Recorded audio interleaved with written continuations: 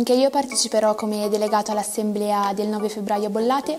Il nostro tema è stato fare rete e sono emersi moltissimi temi principali, tra cui l'incontro con i ragazzi e con gli adulti e anche il rapporto personale.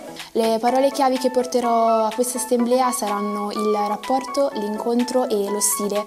Vi aspetto il 9 di febbraio a Bollate, tutti nessuno escluso per creare l'oratorio del futuro. Eh, sono state molto utili le schede che ci ha offerto la FOMMA. Il mio tavolo ha lavorato sulla numero 10, quella della condivisione del pranzo, perché secondo noi è molto importante l'allegria, la condivisione e lo stare insieme in oratorio, sono davvero fondamentali. Io mi porto tre parole che ho eh, nel mio cuore, sono testimonianza, allegria e servizio.